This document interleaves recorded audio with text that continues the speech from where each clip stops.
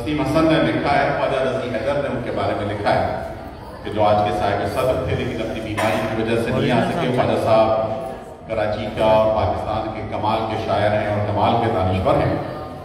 आप लिखते हैं कि खातन की शायरी पर कलाम करना खुद इम्तहान में डालने से कम नहीं होता, क्योंकि फ़ी ज़माना शायरात की एक बड़ी तादाद मंजर पर मौजूद भी है और मुख्तलिफ़ तशीरी हवालों से खुद को मोतबर ठहराने की दानिस्ता व कोशिशों में मसरूफ भी नज़र आती है। इनमें से कुछ शायरात मंजर पर ठहर जाती हैं, जबकि बेशतर शायरी के अदबी मैार की जद पर आकर मालूम हो जाती है। तस्लीम हसन भी एक ऐसी शायरा हैं, जो अपने फ़िक्र एहसास के वतन से मंजर पर तुलू हुई।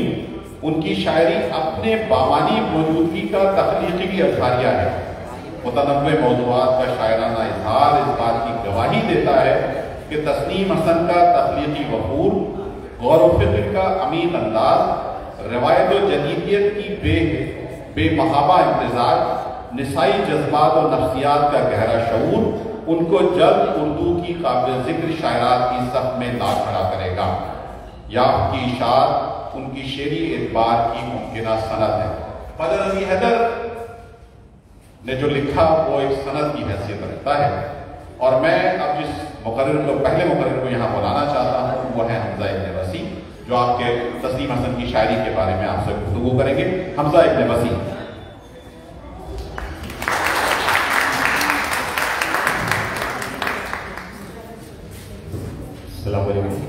बहुत शुक्रिया शकील भाई।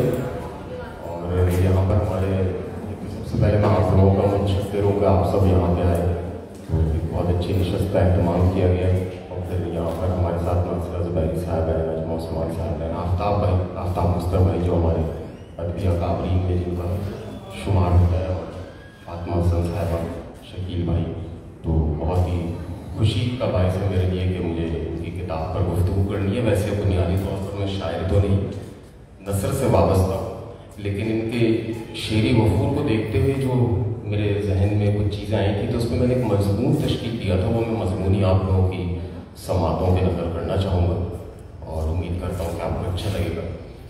तस्नीम हसन की किताब याफ्त जबकि जस्ता जस्ता दुनिया भर के शायरों को बरकी आलात के इस्तेमाल की वजह से तशहर के ज़्यादा मौके मिलते हैं। ऐसे में मैारी और गैर मैारी शायरी का इख्तराक और आम, आम कारी के लिए मुश्किल हो जाता है। जिद्दत से लबरेज आबादी के दौर में रोज़ मुतद मर्द ख़वान शोरा रवायती असलीब के तकदस को इस्तरार बख्शने में कोशा नज़र आते हैं। ख़वान शायरात भी आज मंजरनामे पर शेर अदब के बिलाफ के लिए गैर मामूली तौर पर मुतहरक नज़र आती हैं। इन नामों में तस्लीम हसन एक ऐसा नाम है जो अरसा दराज से शेरी मंजरनामे का हिस्सा है। तस्नीम हसन ने शेरी रवायत के इस्तलाल को महबूज रखते हुए इस्तेजाल में की गई आमियाना शायरी के बजाय शेरी इस्तेमालियत को अपने मतबूए के लिए ख़ास किया। यही वजह है कि इनके मिसरे इंसानी तखयल के दरवा करते नज़र आते हैं, जिसकी बिना पर इंसान के ज़ाहरी वजूद के साथ साथ तखयलाती वजूद भी इरतकाई जवाब से आशना होता नज़र आता है। मौजूद नसाइत से भरपूर तस्नीम हसन का इनफरादी ख्याल, फितरी जज्बात और एहसास के ऐसे हक़ आश्कार करता है जो तामुक व तालीम के बगैर एक शायर के लिए बयान करना मुमकिन ही नहीं। इनका शेरी ख्याल और अल्फाज की तरफ़ तस्नीम हसन की शाइस्ता रविश के जामिन भी नज़र आता है। तस्नीम हसन के अशार में बन मोदी से सीधियों का रिश्ता जैसे इंसानी तहजीब के लिए मुस्तार लिया गया और इंसान के बातों में मौजूद दिनों रात के अवकात की निशानदही करता हो। मगर तस्नीम हसन की घड़ी दरो दीवार पर आवेख्ता नहीं, बल्कि इनके अशार इंसान के इरतकाई बलों के रुदाद हैं, जिसके अपने शबिस्तान और तबिस्तान मालूम होते हैं। तस्नीम हसन रहनू की तरह रहनुई का वो ढंग जानती है, जिससे शेरी मैदान में मौजूद नई खवती शायरात को हौसला और अहतमाद मिलता है। और इनके कलाम में इंसानी मौजूद पर शायरी का मुवजह फ़र्क नहीं, बल्कि दौर जदीद के ख्याल का मंजूम अंदाज है, जो नस्ल नौ की तर्जमानी भी करता है। ज़िंदगी, हालात वाक़ात के इस्तारे इनकी शायरी में इस्तफसार का दर्जा रखते हैं, जो अदवार से बालातर तदहीर इंसानी का पास रखना जानते हैं। तस्नीम हसन ने धड़कनों की तमसील के फ़लसफ़े और मफरूज़े से मोहब्बत के नए मफाहिम को असराती तौर पर असरी गुफ्तराज दी तस्लीम हसन की शख्सी तोानाई और उनकी तरतीब व तकसीम इनके अशार में रवामिस की सूरत मौजूद है। इनकी हकीकी ज़िंदगी, इनके अशार में मुनकस होने के साथ साथ जवाब व सवाब के मनाजिर तय करके महसूस होती है। तस्लीम हसन ने अपनी गज़ल में एक तख्लीकार के कर्ब की तस्कीर वजाहतन की, जो उसको मंजूमात ख़ानदान और माली शोजीदगी के इम्कान के बायस की है इनकी गज़लों की खासियत खातन खातन के वजूदी मसाइल के वो रास्त शुआर मौजूद है, जिसकी बना पर तबदुल तरबियत की एक नई मस्बत फिजा जन्म ले सकती है। इनफरादी सतह पर मौजूद महरूमियाँ जहाँ इनकी गज़लों को शनाख्त व एतबार दिलाती हैं, वहीं इनकी शायरी ज़िंदगी की रमक का ऐलान रसूल करती है।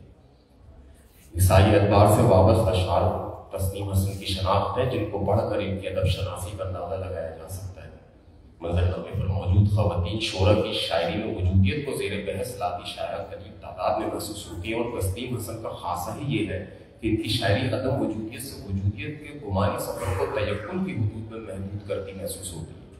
इनकी रोमानवी शायरी महदूद होने के साथ हद निगाह पर बसीरत के नए जाविया आश्कार करती है, जिसमें फितरत के गैर मामूली महासिन का ख्याल रखा एक औरत के फर्दी और इज्तमाही मसाइल को मंजूम अंदाज में रकम करना, जहाँ मुश्किल है वहीं तस्लीम हसन की शायरी जिस तरह को शूर से एहसास और जज्बात को जुजाजी लिबादा अदा करती है, उसको तस्वीर करना तस्वुर से बंदोबस्त है। अलहासिल तस्लीम हसन का शेरी अंदाज हनाइत से भरपूर तुमतरा की तस्वीर की मानद है, जो आम और ख़ास कारीन की दिलजोई करता महसूस होता है और यही तस्लीम हसन की तख्लीकी ज़िंदगी में हासिल हुई याद है जिसका कोई नेबुल बदल नहीं। बहुत शुक्रिया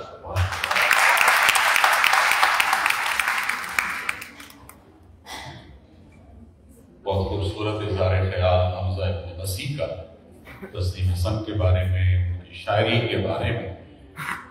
और वो खुद लिखती हैं कि सच्चाई जहाँ पर सरे पैगार लगे हैं। टूटा हुआ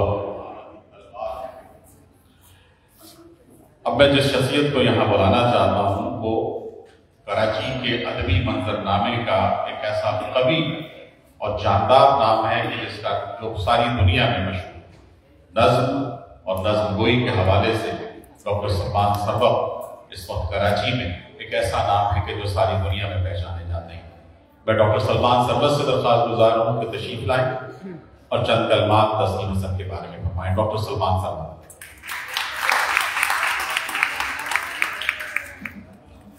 बहुत शुक्रिया शकील भाई। नाजिन हाजरीन आदाब। जैसा कि अहबाब जानते हैं कि आज हम तस्नीम हसन साहिबा की जो किताब है, याफ्त, उसको दरियाफ्त करने के लिए इकट्ठे हुए हैं। वैसे भी कोई भी शेरी मजमू पे बात करना, शायरी को दरियाफ्त करने के अमल से ही इबारत किया जाए लेकिन ये काम इतना आसान है।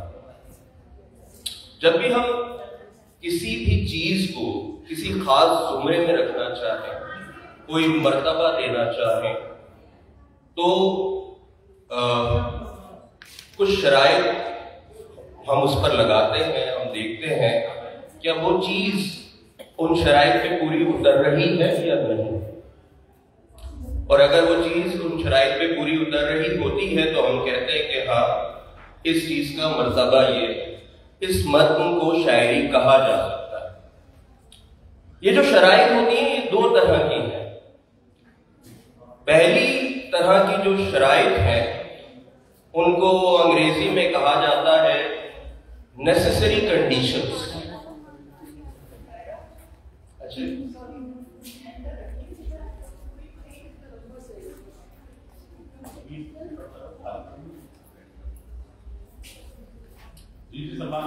मैं ये सेटल डाउन हो जाए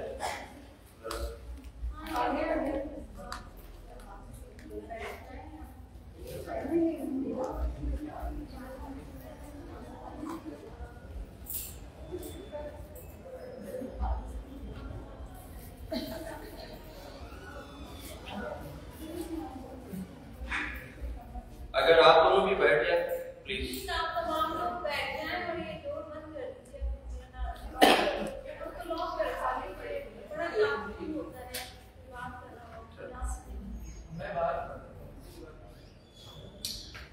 तो मैं बात कर रहा था कि जब भी हम किसी चीज़ को परखना चाहते हैं तो कुछ शराइ उस पर आयद की जाती हैं। उन शराइ पर अगर वो चीज़ पूरी उतरे तो हम उस पर उस ख़ास जुमरे में, उस खास मकसद पे उस चीज़ को रखते हैं।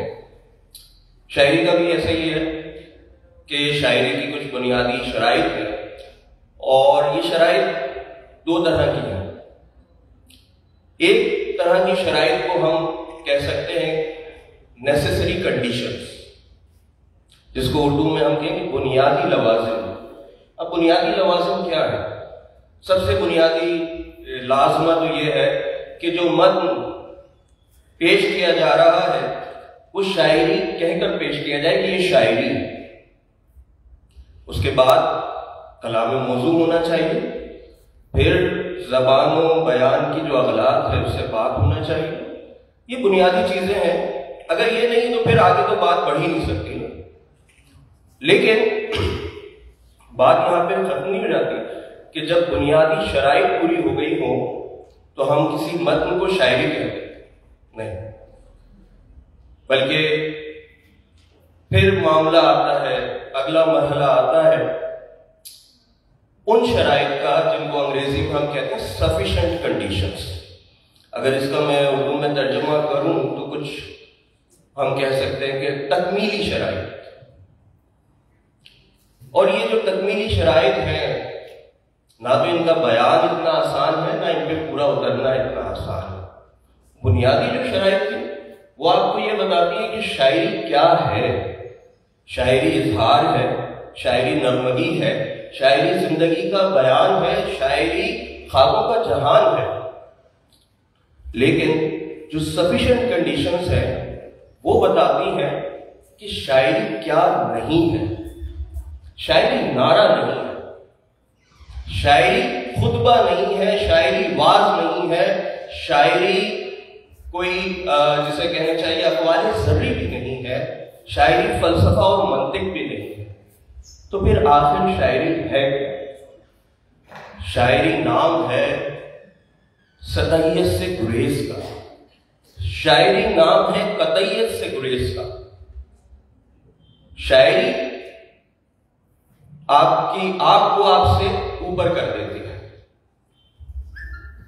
अब सवाल यह पैदा होता है कि इस मंजिल पे पहुँचा कैसे जाए? और क्या शोरा इस मंजिल तक पहुँच भी पाते हैं या नहीं? बहुत कम शोरा होते हैं जो इस मंजिल तक पहुँच पाते हैं। बकिया तमाम तो इन इन दोनों शराइ के दरमियान किसी मुकाम पर मौजूद होते हैं।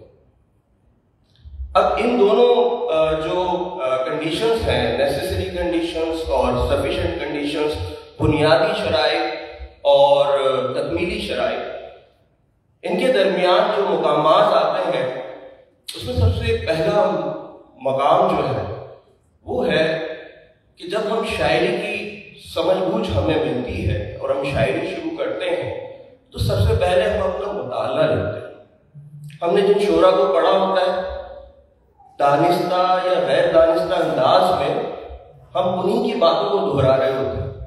उन्हीं की तरह से मिसरे जो है वो तरतीब दे रहे होते हैं।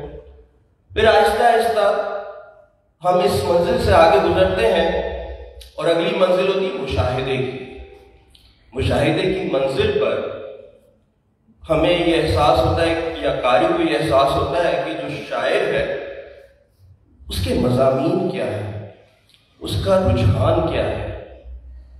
और जब बात इससे भी आगे निकलती है तो वो मुकाम है तजुर्बे का। जब शायर अपना तजुर्बा रकम करना शुरू करता है। और जब शायर अपना तजुर्बा रकम करना शुरू करता है तो वहाँ शायर की शख्सियत और उसका फन उसका हुनर इन दोनों का इंतज़ाम हो जाता है। और यहाँ शायर अपना उसलूब, अपना डिक्शन, वो भी वजह करता है। लेकिन बात यहाँ खत्म नहीं हो जाती। बात यहाँ से एक मंजिल और आगे और वह अगली मंजिल है कि जब शायर का वजूद अपने हुनर में मदगम हो जाता है, मादूम हो जाता है, और उसका फन ही फन उसके सामने लोगों के सामने रहता है। और वो क्या उस वक्त तहरीर करता है? वो अपना तखयल तहरीर करता है। अब अगर इन